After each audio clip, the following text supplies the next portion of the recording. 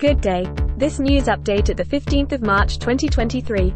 Hello, crypto enthusiasts. Grace here from QED Crypto News, bringing you the latest news from the world of cryptocurrency.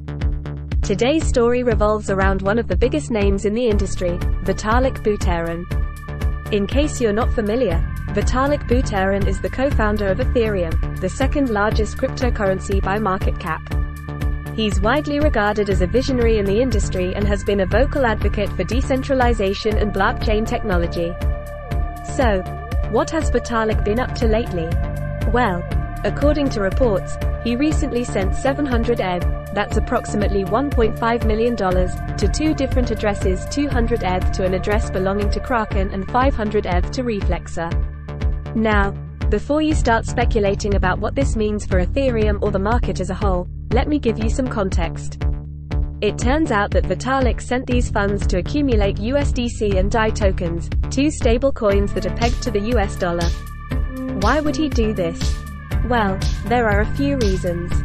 For starters, stable coins are seen as a safer investment option than some of the more volatile cryptocurrencies out there.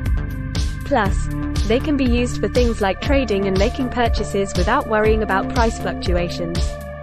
But what's interesting about this move is that it shows Vitalik's confidence in these particular stable coins. After all, he could have chosen any number of cryptocurrencies or tokens to invest in, but he specifically chose USDC and DAI. Of course, we don't know exactly what Vitalik plans to do with these tokens, whether he'll hold onto them long term or use them for something else entirely.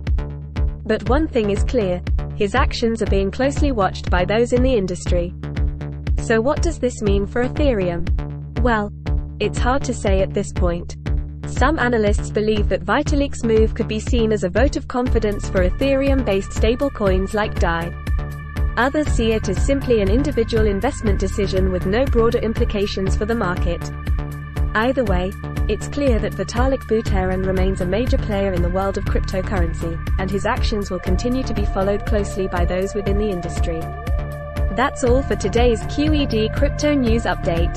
As always, thanks for tuning in and stay tuned for more exciting developments from the world of cryptocurrency. More detail and source please check the description.